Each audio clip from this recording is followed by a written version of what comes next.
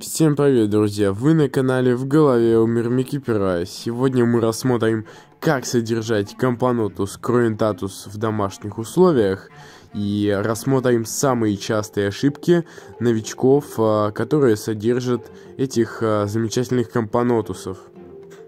Также а, будут оглашены три золотых правила содержания круентатусов. Круент мы заселим во Вгумдуплет, один из лучших инкубаторов в своем роде. В недавнем обновлении появилось доп. отверстие выхода и ручка для более удобной и э, тяжелой крышки.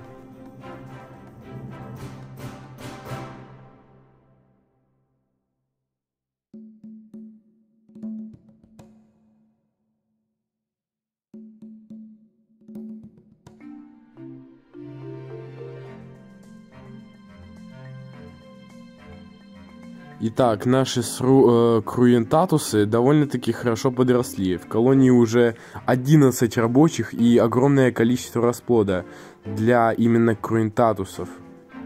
Как мы знаем, э, данные муравьи довольно-таки медленно развиваются, тем более э, в домашних условиях.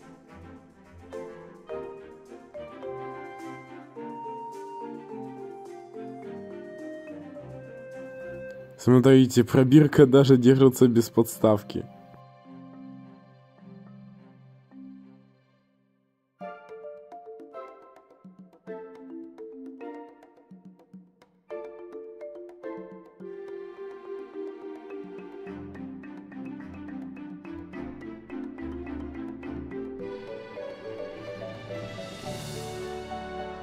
Для приглушения вибраций добавим пупырки.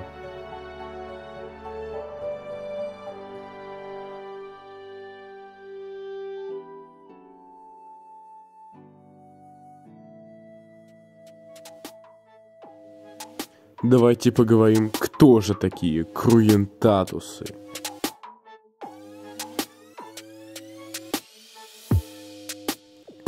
По праву, их можно считать одними из самых агрессивных компонотусов Европы. При малейшем шатании ваты из пробирки вылетает туча молниеносных рабочих, которые на ранних стадиях показывают свою активность в охоте на мелких тараканов. Солдаты этого вида участвуют в охоте. Это вам не падальщики, как те же никобарентисы. Окрас у этого вида особенный. Все касты круент имеют серый цвет. Баюшка матки больших рабочих и солдат на первом сегменте имеют оранжевое пятно. Такой контраст холодных цветов делает круентатусов также одними из самых эстетичных кампов. Словно серые угольки с раскаленной их частью, круенты обжигают своих врагов и набрасываются на каждого, кто встанет на их пути. Итак, давайте рассмотрим три правила содержания данных охотников. С июля по декабрь этих кампов нужно гореть до 30 градусов.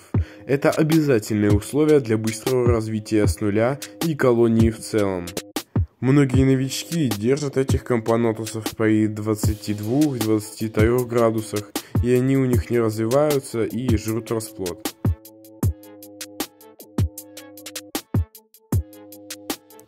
Одно из самых важных правил – не стрессовать одиночных маток чаще, чем раз в 4 дня, и колонии чаще, чем раз в 2-4 дня.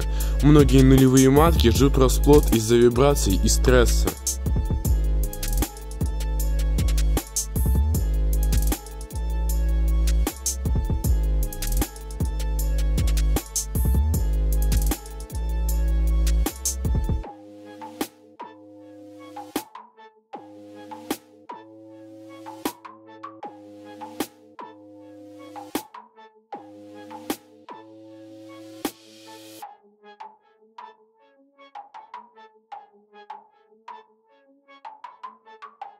И, пожалуй, самое важное правило – это проведение диапаузы.